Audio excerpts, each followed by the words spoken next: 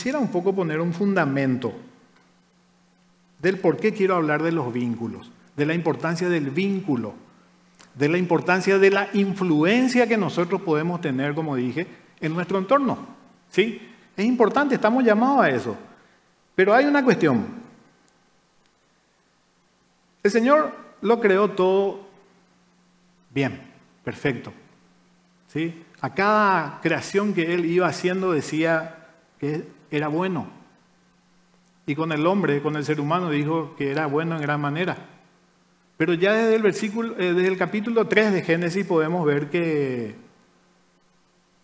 por las circunstancias de la humanidad y de Satanás, vino la caída. En la caída se fortaleció o vino a ser el Señor el pecado. Y fuimos apartados de la gloria del Señor. Eso es lo que entendemos a partir de la lectura que podemos ir haciendo de la Biblia. Entonces, ¿qué es el pecado? El pecado es no conformarnos a la ley moral de Dios. ¿En qué forma? En acciones, en actitudes y en la naturaleza misma. A partir de lo que pasó con Adán y Eva, los que venimos después, venimos con una naturaleza pecaminosa. Venimos con el pecado, que hace que sea más fácil errar el blanco en nuestras decisiones que tomamos, como dije, en la acción y también en nuestros pensamientos. O sea que en la acción es algo que se ve ya de nuestros pensamientos y de lo que nosotros vamos generando acá, ¿verdad? El pecado incluye no solo acciones individuales, ¿verdad? Sabemos por los diez mandamientos que el Señor nos pide, por ejemplo, eh, dice, no robarás, eh, pide que no, no seamos mentirosos, el no matar. Esas son acciones, acciones que el ser humano va tomando y que se ve. Pero también habla de las actitudes del corazón. Por ejemplo, dice, no codiciarás. Entonces eso posiblemente yo estoy codiciando y no es algo que se vea. Como cuando le miento a alguien o cuando robo o cuando hago, alguna acción. Pero está ahí. Entonces, igual es una actitud pecaminosa. El sermón del monte, en el sermón del monte, Jesús también se encarga de hablarnos de eso. Y específicamente en Mateo 5. Mateo 5, vamos, vamos a leer, ¿sí? Vamos a leer Mateo 5, vamos a ver qué nos dice. El versículo 28, el 22 y el 28.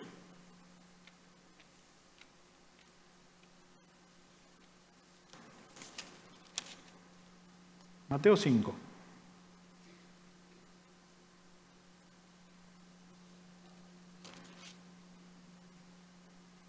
Pero yo digo, dice, que cualquiera que se enoje contra su hermano será culpable de juicio. Que se enoje, ¿verdad? Habla de una actitud. Y el 28 dice, pero yo digo que cualquiera que mira a una mujer para codiciarla, ya adulteró. Bien específico el Señor. Pero que está hablando de esas acciones por decirlo de alguna forma, que están dentro de nosotros. Entonces Él va hasta, hasta ahí, hasta lo más profundo. ¿verdad? Entonces está hablando de nuestras conciencias. El apóstol Pablo también se encarga de mencionar actitudes como los celos, enojo, egoísmo, en Gálatas 5:20. Entonces podemos ver en varios versículos que el Señor no solamente se preocupa en lo que tiene que ver con las acciones, sino que también en lo que está acá, dentro nuestro. Por lo tanto, dice, una vida que agrada a Dios tiene pureza, eh, tiene pureza moral, no solo, impureza moral, no solo en las acciones, sino también en los deseos del corazón. Eso nos agrada al Señor. ¿Qué es lo que Él busca? Que nosotros podamos cambiar esa naturaleza. ¿Cómo? ¿Con nuestras obras? No, imposible. Es imposible. ¿Por qué? Porque el pecado atacó y ataca, por ejemplo, la base de la verdad. En, la conversación que hubo en Génesis, en Génesis, entre Satanás y Eva, se encargó Satanás de distorsionar esa verdad que el Señor puso en Adán y Eva en un momento dado. Entonces se distorsionó. ¿Qué se distorsionó? Por ejemplo, las preguntas correctas, la respuesta correcta a la pregunta ¿qué es verdad? ¿Qué es verdad? ¿Qué es lo bueno? ¿Y quién soy yo? El Señor le dijo así bien a, Adán, mira, todo esto es tuyo, todo, todo, vos te vas a encargar de todo lo que está acá, lo que ves, pero ese árbol que está ahí, del bien y del mal, de ese árbol no vas a comer. Porque morirás, ciertamente morirás. Entonces en la conversación que hay con Satanás, entre Satanás, la serpiente, y Eva, él se encarga de distorsionar eso y le dice, no, no, no, no van a morir, sino que serán abiertos sus ojos y van a entender, van a tener conocimiento, sabiduría, y van a ser como Dios. Entonces se distorsionó todo esto, porque la verdad es lo que Dios dice en su palabra. Y muchos sin Dios hoy creemos que no es así. Por eso es que vemos tanta distorsión en el mundo, ¿verdad? También que es lo bueno, claro, no hace falta hacer mucho análisis para eso, ¿verdad? Entonces nos confundimos. Nos confundimos hasta el punto de que no sabemos qué es lo bueno y tampoco quiénes somos. Nosotros tratamos de encontrar la respuesta de quiénes somos a partir de lo que nosotros vemos de nosotros mismos. Y no dejamos que sea Dios, el creador de nosotros mismos, de lo que somos, que Él nos dé la respuesta. Y así vamos caminando en error. Entonces, todo pecado en última instancia es irracional, porque no responde correctamente a esta pregunta que estamos haciendo. Es irracional, las decisiones que vamos tomando a partir del pecado son necias, decisiones insensatas, y el pecado al final no tiene sentido. Así estamos sin Dios en este mundo. Heredamos una culpa que nos destituye de la presencia de Dios, ¿verdad? Eso entendemos. Heredamos esa culpa. Pero también tenemos una corrupción heredada. ¿Qué quiere decir eso? Que nosotros nos miramos, tenemos 15 años, somos jóvenes. Después vamos, vamos creciendo, vamos creciendo. A los 70, 80 años ya no somos los mismos de hace 50. Y nos enfermamos, y nos desalentamos, nos cansamos, se deteriora el cuerpo. Entonces, y también las decisiones, como dije, que vamos tomando, son equivocadas. ¿Por qué? Porque heredamos esa corrupción. No somos todo lo corruptos que, podíamos, que podríamos ser. Muchos no, no desarrollamos eso, pero tenemos ahí esa capacidad.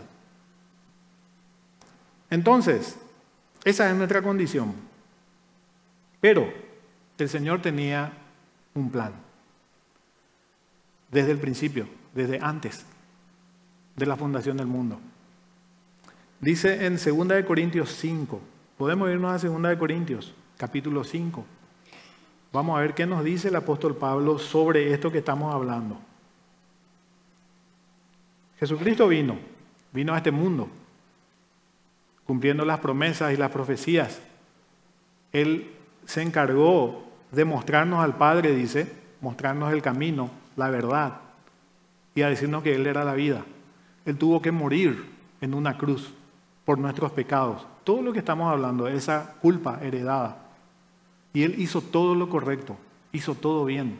Entonces ahí nos muestra y nos indica el camino como para evitar esa corrupción heredada de la que estamos hablando. Entonces el apóstol Pablo, explicándole a los corintios en ese tiempo, dice, 2 de Corintios 5, versículo 17 en adelante, de modo que si alguno está en Cristo, nueva criatura es. Las cosas viejas pasaron, he aquí, todas son hechas nuevas. Y todo esto proviene de Dios, quien nos reconcilió. Esa palabra quiero que se graben. nos reconcilió consigo mismo por Cristo y nos dio el ministerio de la reconciliación. Acá el apóstol hace así un resumen de lo que pasó. Y si esto tomamos en nuestros corazones hoy, nos va a alentar. Entendiendo que si estábamos caminando en el error, hoy es el tiempo y la ocasión en el que podemos entonces creer que hay un nuevo camino para nosotros. De modo que si alguno está en Cristo, nueva criatura es. Las cosas viejas pasaron, todas son hechas nuevas. También en Isaías 44, 3, por ejemplo, el Señor hablaba en profecía, hablaba de que Él derramaría de su espíritu sobre nosotros. Eh, Jesús en Juan capítulo 14 y en Juan capítulo 16 les dice a sus apóstoles que vendría otro consolador, refiriéndose al Espíritu Santo. ¿Verdad? Entonces les alentaba, decía, pero cuando venga el Espíritu de verdad, Él os guiará a toda verdad, porque no hablará de su propia cuenta, sino que hablará todo lo que oyere y os hará saber las cosas que habrán de venir. Perfecto, podemos tomar esta palabra, ¿sí? Como algo específico para sus apóstoles, pero entendemos también en nuestra realidad hoy que el Espíritu Santo sigue obrando. Por eso estamos acá. Por eso es que tratamos de corregir nuestras vidas, de corregir lo errado y entonces caminar en, corrección y en obediencia. No es de nosotros, es de Dios. Y esa fortaleza viene de Él. Entonces Él prometió eso, el Espíritu de verdad. El Espíritu que qué? El Espíritu que te da vida. En ese tiempo en el que pasamos muchas veces acá adelante, ¿verdad? O hacemos esa confesión, donde le recibimos al Señor, a Jesucristo como Señor y Salvador, es esto lo que está pasando. Estamos recibiendo vida. Estamos siendo perdonados y estamos recibiendo vida en el Espíritu. Ya el Espíritu Santo hace, se hace posesión de nosotros y Él nos ayuda a caminar. Nos ilumina y nos enseña. Eso es importante entender. Nos ilumina y nos enseña a partir de esa vida que tenemos. Y a partir de esa vida que tenemos podemos leer, por ejemplo, el Salmo 19. Quiero que me acompañen ahí. Salmo 19, desde el versículo 7, vamos a ver un poco lo que Dios mismo dice de su palabra. Y estábamos hablando de lo que Él dice. Si Él lo dice, es verdad. Y miren un poco lo que dice. Es impresionante lo que el Señor, cómo el Señor presenta su palabra para nosotros. Salmo 19, desde el versículo 7 dice, la ley de Jehová es perfecta, que convierte el alma. El testimonio de Jehová es fiel, que hace sabio al sencillo. Dos características ya estamos viendo acá. Convierte el alma y hace sabio al sencillo. Los mandamientos de Jehová son rectos, que alegran el corazón. El precepto de Jehová es puro, que alumbra los ojos. El temor de Jehová es limpio, que permanece para siempre. Los juicios de Jehová son verdad, todos justos. Deseables, dice, deseables son más que el oro y más que mucho oro afinado, y dulces más que la miel y que la que destila del panal. Si esto vos sentís, cuando abrís la Biblia y tratás de conocerle al Señor a partir de la lectura, vas sintiendo todo lo que dice acá, muy posiblemente tenés esa vida de la que estábamos hablando. Porque el Espíritu Santo es el que te está dando esa luz y esa satisfacción para que vos puedas decir, esto que estoy haciendo es deseable a mi corazón. Y es mucho más importante que cualquier otra cosa. Tu siervo, dice, es además amonestado con ellos. Claro, como dije, vamos siendo corregidos, vamos siendo alentados. Va, él nos va dirigiendo un camino en el que tenemos que andar a partir de su palabra. Entonces vamos siendo amonestados, enseñados. En guardarlos hay gran galardón.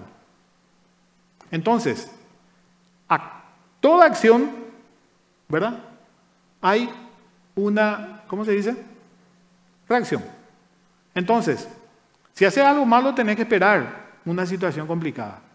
Si está haciendo lo bueno, lo correcto, también una situación, pero favorable. ¿Quién podrá entender sus propios errores? Dice el salmista. ¿Quién podrá entender sus propios errores? Líbrame de los que me son ocultos. ¿Por qué? Porque se acuerdan que habíamos hablado de que cambiamos esa pregunta. ¿Quiénes somos? ¿Y qué es lo bueno? Entonces, si nosotros nomás nos analizamos sin Dios, sin su espíritu, sin la palabra, no vamos a llegar a una conclusión correcta, porque vamos a tener pretextos. Yo soy así porque, bueno, eh, una cuestión con mis padres, la historia que, la mochila que traigo, sufrí cuando era niño, cuando era adolescente, ustedes no saben lo que yo pasé.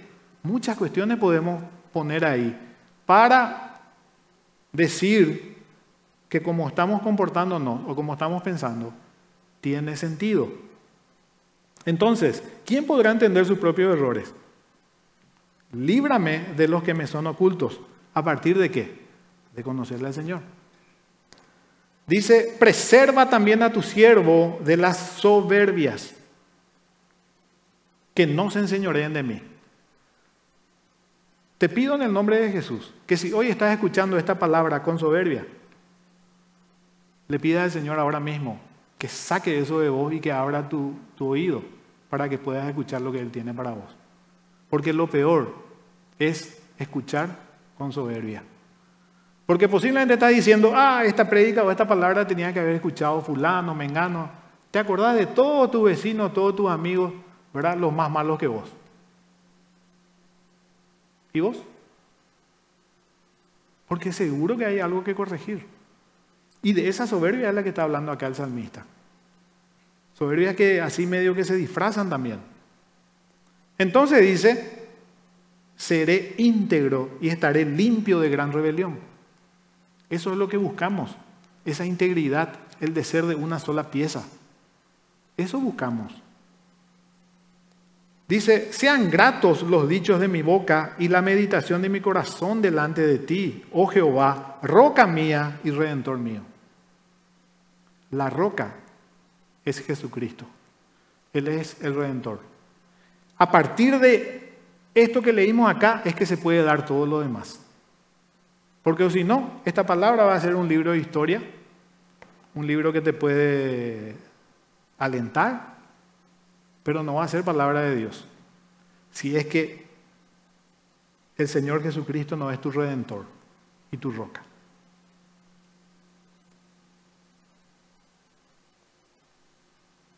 Toda verdad viene de la palabra de Dios. Y el Espíritu Santo nos capacita para entenderla de una forma que pueda ser viva y eficaz en nuestras vidas.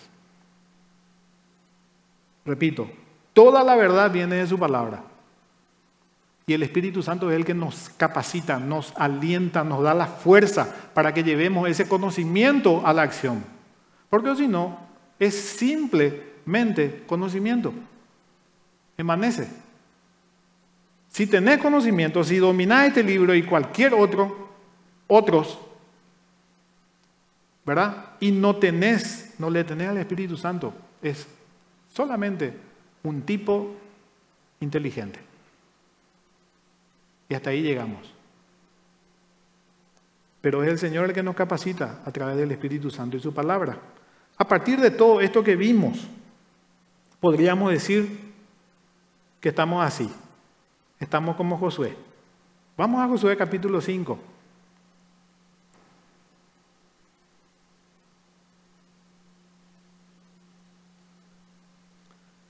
¿Quién es Josué? Em,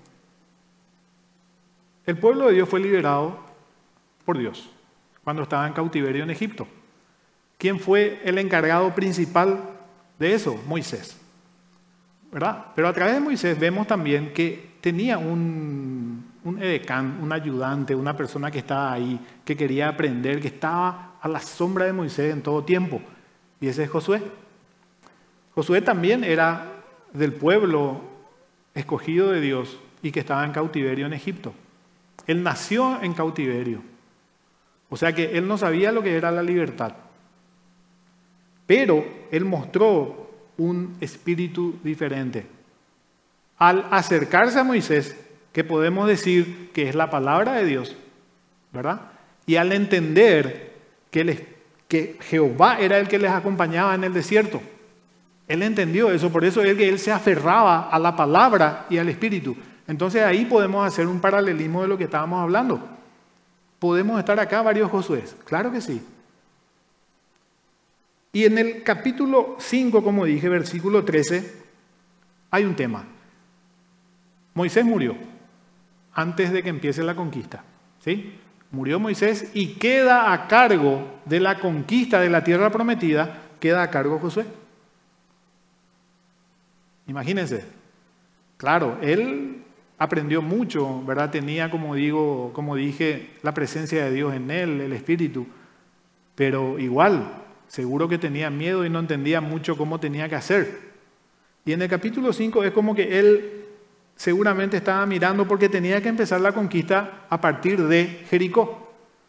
Ahí se da. A partir de Jericó se da la conquista de la tierra prometida. Y saben que Jericó era una fortaleza que era impenetrable.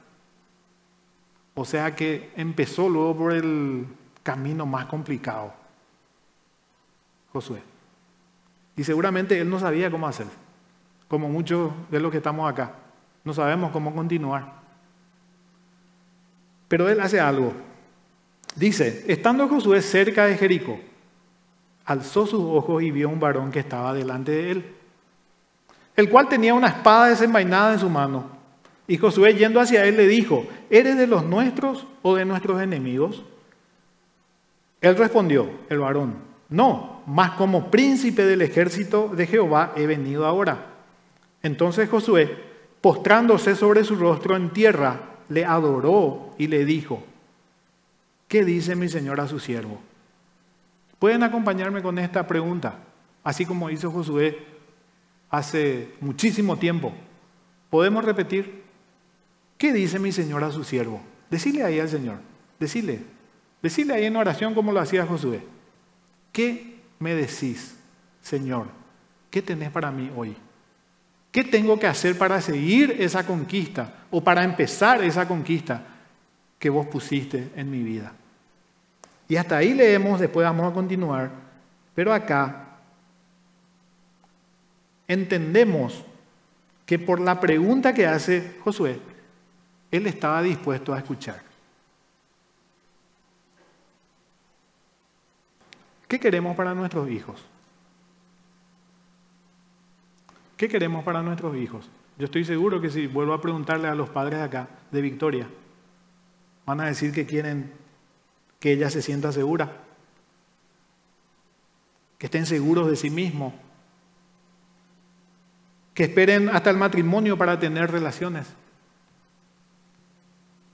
que permanezcan fieles a sus cónyuges cuando venga el casamiento. Mujeres y hombres con integridad, honestos, éticos, trabajadores. Eso es lo que queremos y creemos que estamos formando. Hijos que sepan desarrollar amistades sanas, que puedan decir no a las drogas, al alcohol y a las conductas peligrosas, ¿verdad?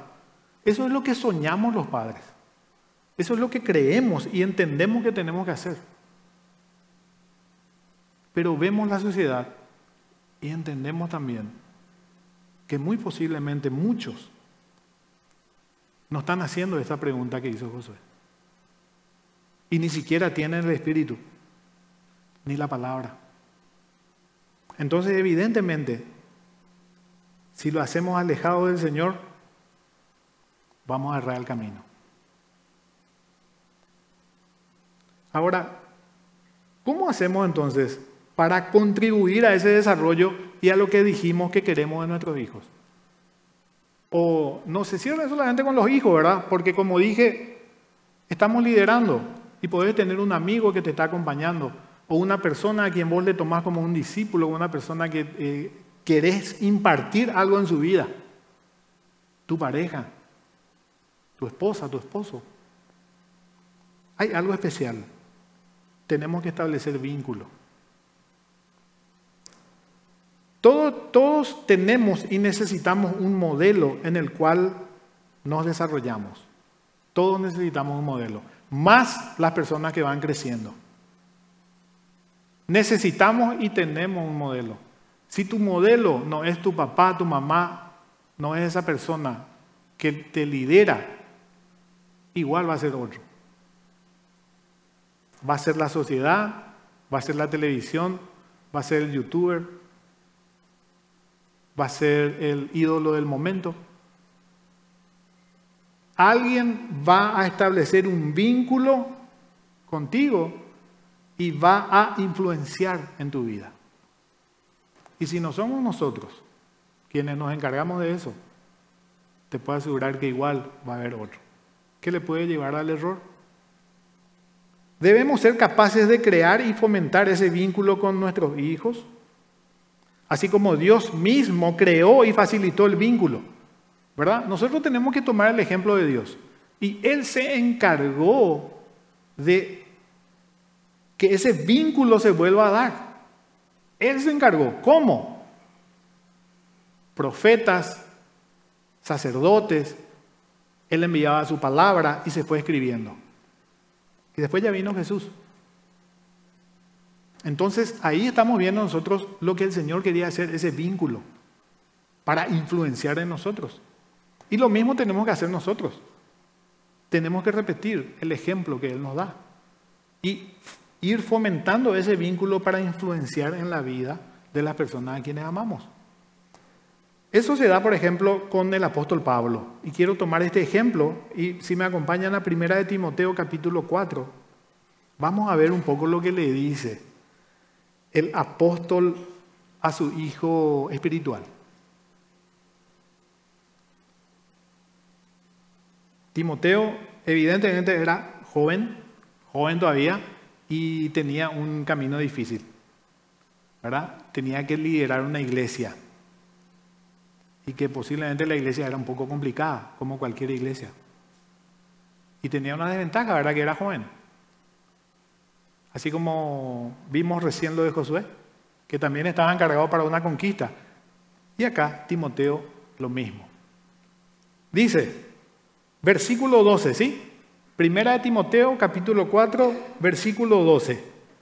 El apóstol Pablo le dice a Timoteo, ninguno tenga en poco tu juventud. Que ninguno tenga en poco tu juventud, sino sé ejemplo de los creyentes, en palabra, en conducta, en amor, en espíritu, en fe y pureza.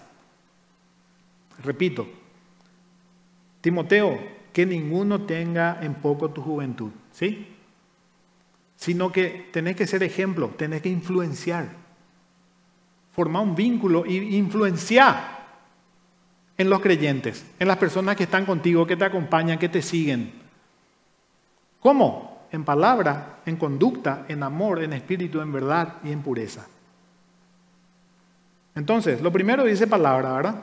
En palabra aprendiendo el lenguaje del consuelo y del apoyo. Estamos llamados a ser líderes en nuestras familias. El líder que hace alienta, el líder apoya, el líder ministra, ayuda. El líder es el primero que tiene que estar ahí, no es el que no viene para servir. ¿Se acuerdan? Así dijo el Señor. Entonces Él nos muestra ya una característica del liderazgo. Servir, ministrar, ¿Cómo? Con la palabra. En Efesios 4, el apóstol Pablo de nuevo nos dice, ninguna palabra, Efesios 4, capítulo, eh, versículo 29, ninguna palabra corrompida salga de tu boca, sino la que sea buena para la necesaria edificación, a fin de dar gracia a los creyentes. Y no contristéis al Espíritu Santo de Dios con el cual fuisteis sellados para el día de la redención. Entonces, padres, que ninguna palabra corrompida salga de tu boca, a pesar de las situaciones que te pueden llevar, ¿verdad? Tus hijos. Porque sabemos que es así. Yo también, desde, desde la cancha le estoy hablando. Hay momentos en que se, ¿verdad? se especializan para sacarnos de casilla, ¿verdad? Y salen de nuestras bocas palabras que después queremos recoger. Pero ya fue lanzada. Y en muchas ocasiones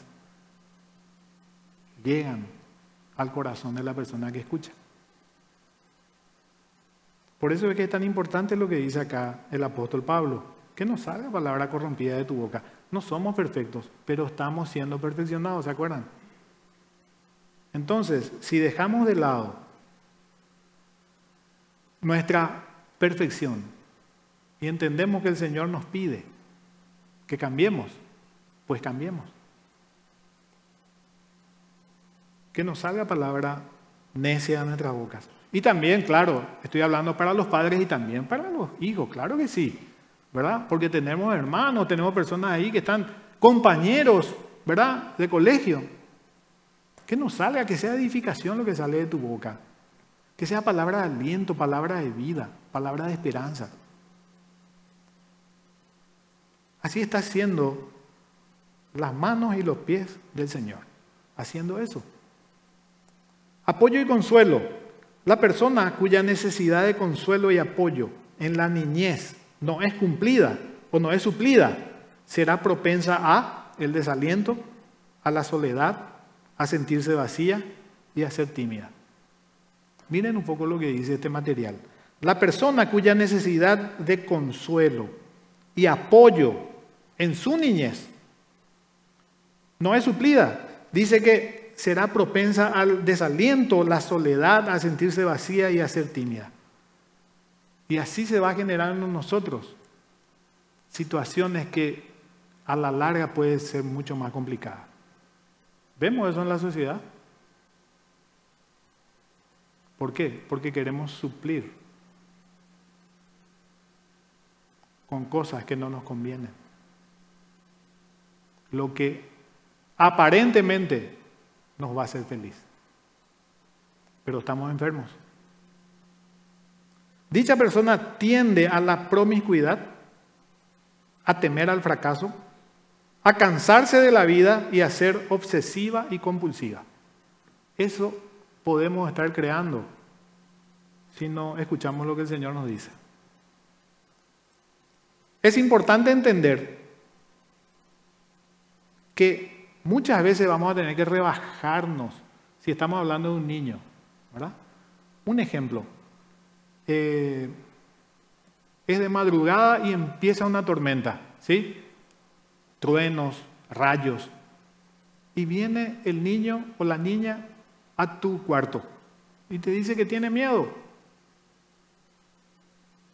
Y vos no te rebajás a su pensamiento y a su situación, a lo que hoy le está haciendo mal a ese niño, a esa niña. Entonces le decís, no, no pasa nada, andate a tu cuarto, seguí nomás. Y se va. No sintió el apoyo y el consuelo de la persona que ella consideraba y que la, que la que es, que tenía que darle eso. Parece algo tan simple desde nuestra óptica hoy, porque ya somos grandes. Pero ponete en el lugar de esa personita. Eso ya pudo haber marcado algo muy profundo en su corazón. Así también es importante ir creciendo, ¿verdad? Porque tampoco es quedarnos a ese nivel, ¿se acuerdan? Cinco años. Y tu hijo ya tiene 15, ya tiene 18, ya tiene 25 y todavía le seguís tratando como un niño de 5. Tampoco, el equilibrio. ¿Por qué hablo esto, gente?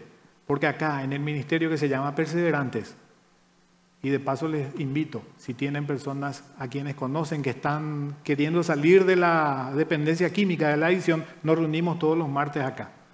En, en, este salón, en el templo y en otra sala que está arriba. Y saben que escuchamos ahí y saben que vemos la codependencia de los familiares. Personas que le acompañan, está bien, perfecto, le acompañan a la persona que está en dependencia, pero le tratan como si fuera un bebé. Y vos estás escuchando y decís, bueno, es un adolescente, ¿cuántos años tiene tu hijo? Y tiene 45. Entonces no supimos equilibrar el nivel en el que tenemos que estar. Le seguimos tratando como a un niño de 5, a una persona ya grande. Y eso se da también en la corrección, vamos a ver, pero le adelanto, en la corrección. Si no te encargaste de corregirle un poco de vara, y esto que estoy diciendo, si escuchan personas que están ahí, ¿verdad? Controlando, puedo ser eh, advertido. Pero la palabra de Dios habla de una vara, de una corrección que tenemos que darle a nuestros niños. En el tiempo en el que ellos van aprendiendo lo que es autoridad. En el corazón queda marcado. Autoridad. ¿Quiénes son? Mis padres, las personas que están puestas por Dios, la policía, los que ejercen autoridad. Y yo tengo que respetar. Entonces ellos van creciendo con eso. Pero llegan a los 18, a los 20 años y ahí recién vos querés darle vara. Entonces em, se ven los moquetes que hay, ¿verdad?, entre padre e hijo en, esas situaciones. En ese momento es razonar. Cuando ya es mayor de edad, tenés que hablar, tenés que razonar. Ya se supone que la parte de autoridad él ya entiende, entonces te va a tomar siempre como una autoridad. Entonces es importante el equilibrio.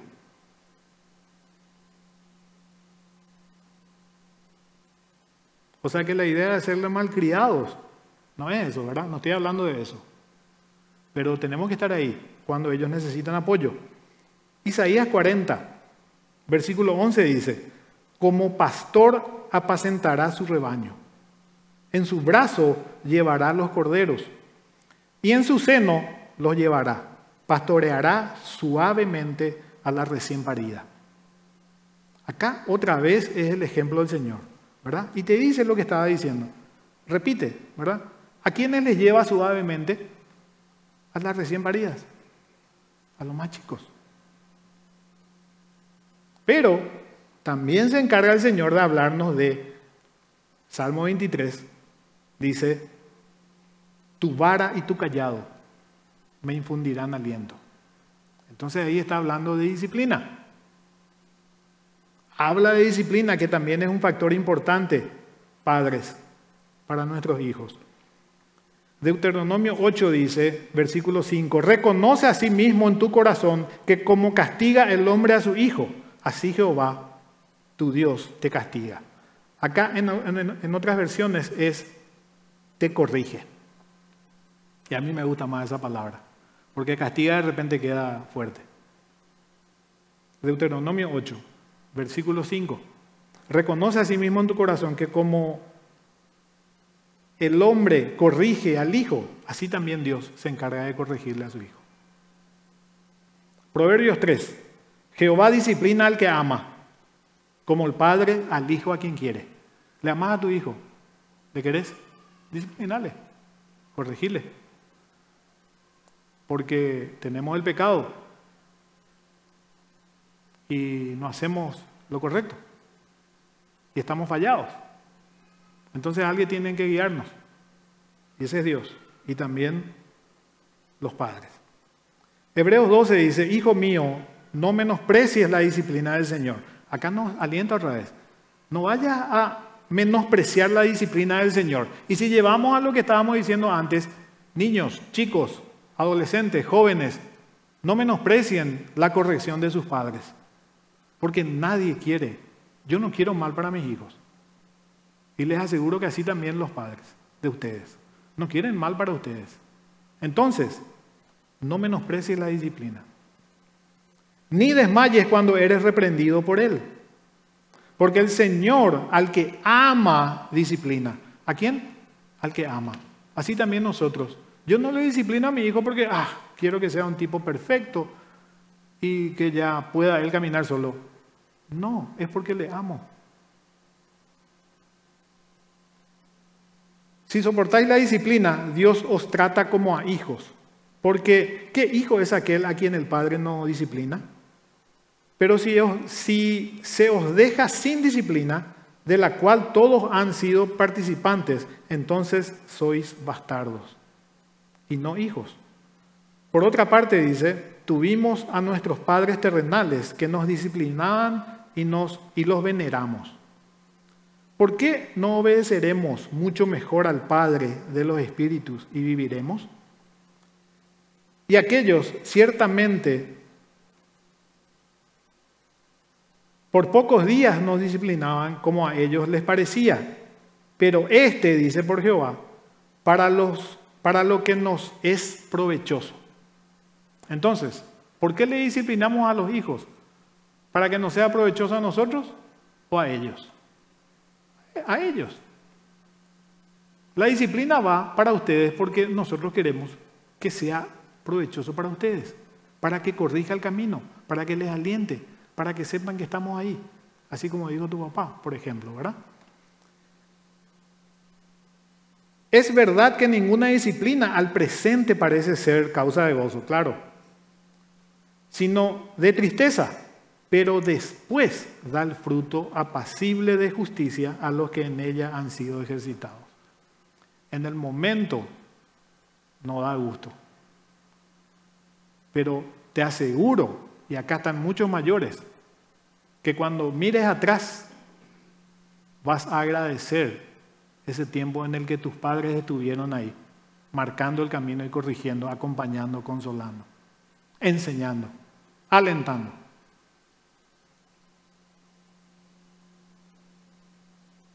Voy a citar un poco cuatro tipos de padres para que veamos dónde estamos. ¿Sí? Yo esto leí y realmente ya no quise luego venir a predicar. En serio. Ya dije, no, que venga tío Pedro, que porque yo no, realmente no califico. Pero no, no estamos acá porque somos perfectos, ni mejores que ustedes. Estamos acá para compartir la palabra que nos corrige. Dice, ¿cuál es tu estilo como padre o como mamá? Autocrático, mucho control, pero poco apoyo. Ese es el autocrático. Mucho control, pero poco apoyo. El siguiente es permisivo. Mucho apoyo, pero poco control. Indiferente. Poco o nada de control. Poco o nada de apoyo. Nulo. De ambas partes. Nulo. Ese es el peor. El que está pero no existe. El que muestra indiferencia. Ese es el peor. El siguiente, relacional. Es autoritativo. Correcto equilibrio entre el control y el apoyo. A eso tenemos que llegar. El relacional, la relación, ¿verdad? Estábamos hablando del vínculo. Estamos hablando de la influencia que podemos ser para nuestros hijos a partir de la relación. Cuando tenemos que corregir, mano dura. Cuando tenemos que apoyar, todo el amor. Y así es como también se da en la familia. Está la presencia del papá y está la presencia de la mamá. Los dos tienen roles diferentes. Entonces se conjuga. Uno autoridad, fuerza, presencia, marca el camino. Y la otra es paciencia, amor, compañía, aliento.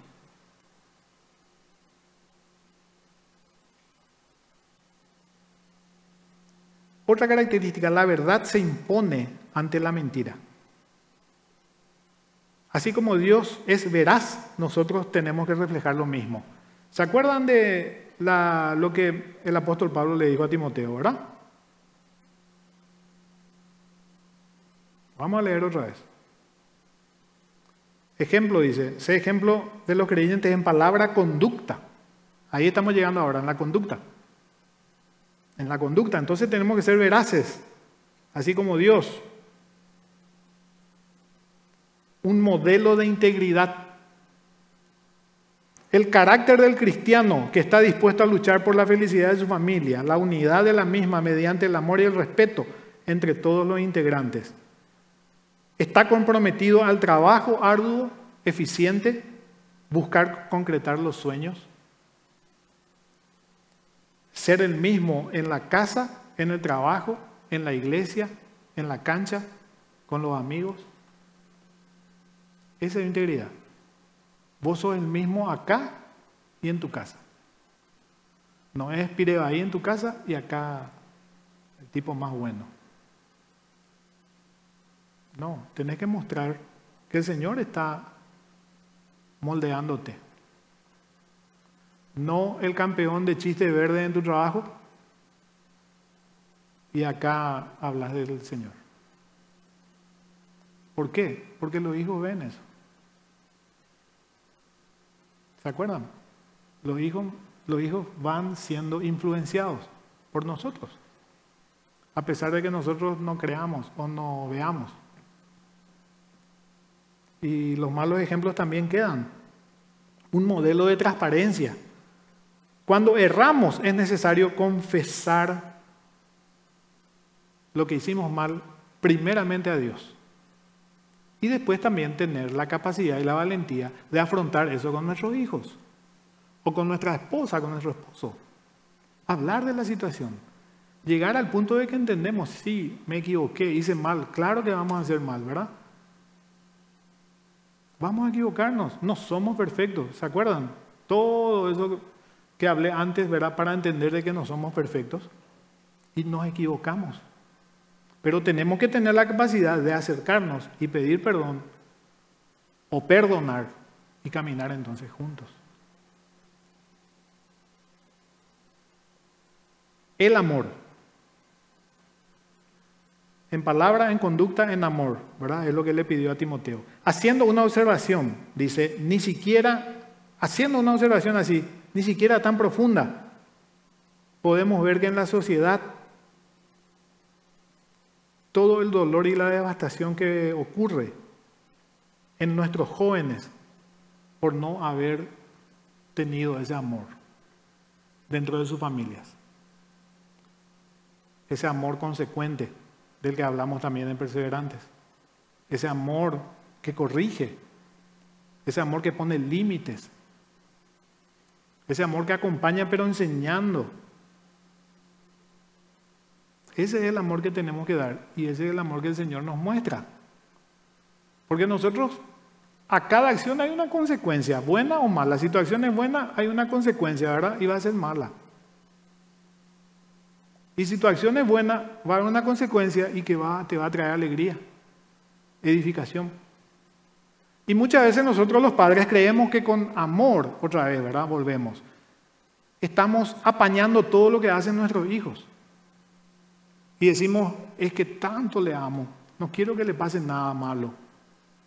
Y estás apañando y no estás dejando que las consecuencias hagan su labor, que es corregir. Y vienen padres acá sufriendo. Y los hijos ni enterados. ¿Por qué se da eso? Porque somos imperfectos.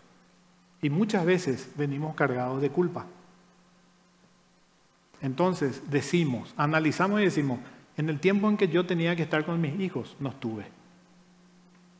Fui un padre ausente, eh, ponele lo que vos quieras. Tenías mucho trabajo, no tenías tiempo, te dedicaba a otras cosas o inclusive estaba en malos caminos. Entonces no estuviste. Y claro, la consecuencia está ahí. Un chico con falta de autoestima, no sabe quién es, no sabe cuál es el camino que tiene que recorrer, está influenciado por otras personas que no son buenas, ahí viene el problema. Y vienen acá, con culpa, cargados de culpa los padres. Entonces no pueden ejercer un amor consecuente en el que tienen que imponer y poner límites y hablar de la situación y confrontar y enseñar.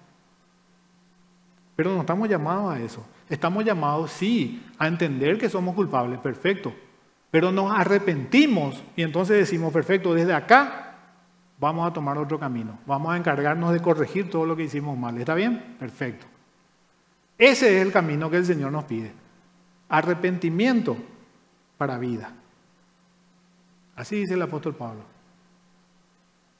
Hay arrepentimiento que nos lleva a la vida. Y hay culpas que tenemos ahí que no, le soltamos. y nos lleva a la muerte.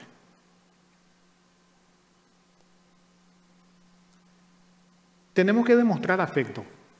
Tenemos que demostrar afecto, tenemos que abrazar, tenemos que besar, tenemos que mirar a los ojos, tenemos que hablar. Esa es la forma de mostrar afecto. Ser cariñosos, eh, deleitarse en la singularidad de cada hijo. ¿Cómo le llamás a tus hijos? A mis nietas, a mis nietos, por ejemplo, ¿verdad? Cada uno tiene, y mi esposa es la que se encarga de eso, ¿verdad? De darles eh, un, un sobrenombre así especial, ¿verdad? A cada uno. Eso parece una pequeñez, pero es algo que marca. Porque le está mostrando a la persona que es especial. Y le hablas de los detalles, de lo que vos ves de bueno en esa persona. Háblale. Va a marcar el corazón de ella, de ella o de él. Reafirmar el valor personal que tienen las personas a quienes amamos. ¿Qué es valor? El valor es igual a tiempo. Es lo que muchos no tenemos, y es cierto. ¿Verdad? ¿Por qué? Porque ahora, hoy por hoy, tenemos que trabajar más de lo que trabajamos antes. El doble tenemos que trabajar para seguir percibiendo un salario igual o menor. Así es. Así estamos preparados, ¿verdad? Entonces no tenemos tiempo para nuestra casa, para nuestros hijos, para la familia. Pero ese poco tiempo que tenemos, tiene que ser bien invertido. Entonces, el valor es igual a tiempo, el tiempo es igual a calidad invertida. No vayas a desechar ese tiempo que tenés con tu familia. Por las cosas que te gustan. Te gusta sentarte a ver un partido de fútbol. ¿Quién te dice que no? Pero si no estás dejando de lado el acompañarle a tus hijos o a tu familia justo en ese momento en que podés. Aprovecha el tiempo desde el almuerzo o de la cena, de los fines de semana. Aprovecha ese tiempo y entonces hace esto, ¿verdad? Mostrarle el cariño. No demos por hecho que ellos saben ya que le amamos.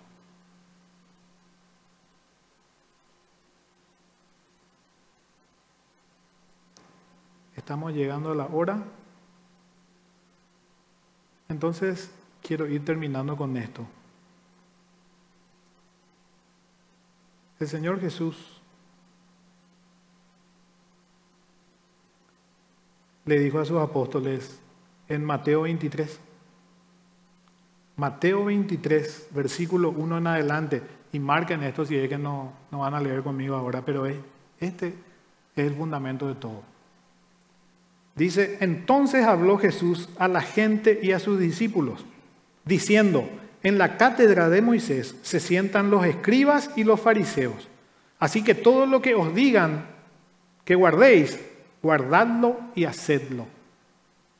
Mas no hagáis conforme a sus obras, porque dicen y no hacen. Les voy a explicar qué es lo que quiere decir. Mateo 7, ahí cuando va terminando el sermón del monte, ¿sí? El sermón del monte que es la constitución del cristiano, ¿verdad? El Señor desde el capítulo 5 hasta el 7 nos va enseñando y diciendo qué es lo que nosotros tenemos que creer y hacer como cristianos. Acción y también del corazón, ¿se acuerdan? Bueno, se encarga de decir, de enseñarnos todos esos dos capítulos. Y culmina con esto. Cualquiera pues que me oye estas palabras y las hace, le compararé a un hombre prudente que edificó su casa sobre la roca. Descendió lluvia y vinieron ríos y soplaron vientos y golpearon contra, ella, contra aquella casa y no cayó, porque estaba fundada sobre la roca. Pero cualquiera que me oye estas palabras y no las hace, le compararé a un hombre insensato que edificó su casa sobre la arena. Y descendió lluvia y vinieron ríos y soplaron vientos y dieron con ímpetu contra aquella casa y cayó. Y fue gran ruina. ¿Qué es lo que te quiero decir con esto? Que todo lo que escuchaste, si lo llevas a la acción, entonces sos sensato, sos sabio. Si lo escuchaste y lo tomaste solamente para conocimiento, así como hacían los fariseos y los escribas, estaban llenos de conocimiento, eran personas que dominaban la palabra de Dios, la Biblia, se sabían de punta a punta, pero no hacían lo que tenían que hacer. Entonces el Señor les dice, escuchen su enseñanza porque saben, pero no vayan a repetir lo que ellos hacen, porque van a seguir caminando en el error. Y miren que no es fácil, no es fácil, no es fácil llevar a la acción lo que va contra la naturaleza misma. Pero si creemos en Dios y si creemos en que el Espíritu Santo obra y puede obrar en nosotros, entonces podemos hacer lo que hizo Josué. Y con esto quiero finalizar. Volvamos al capítulo 5 de Josué. ¿Se acuerdan? Estaba Josué hablando con el varón que era que los estudiosos dicen que es Jesucristo en ese tiempo. Y le hizo esa pregunta, ¿se acuerdan? ¿Qué dice mi Señor a su siervo? Bueno, todo lo que escuchaste y mucho más te dice. Y dice el versículo 15, y el príncipe del ejército de Jehová respondió a Josué, quita el calzado de tus pies porque el lugar donde estás es santo. No vamos a sacar nuestro calzado acá, pero ¿saben qué representa esto? Representa la competencia que nosotros tenemos como seres humanos, o mejor dicho, la incompetencia que tenemos, porque estamos cargados de culpa y estamos llenos de pecado y no podemos hacer lo correcto. Entonces Él te dice, Deja de lado lo que crees que sos y entregame tus fuerzas para que podamos caminar juntos. Eso fue lo que pasó con Josué y él conquistó. Él empezó por donde tenía que empezar y conquistó, no por lo que él era, sino por quién estaba con él. Entonces, si hoy, a medida que escuchaba estas palabras, así como yo, cuando iba hablando, me escuchaba. Y en muchas dije, no puedo. Cree en Dios y cree en que Él sí puede ir corrigiendo tu vida y puede ir delante de vos como un poderoso gigante para conquistar eso que es difícil para nosotros.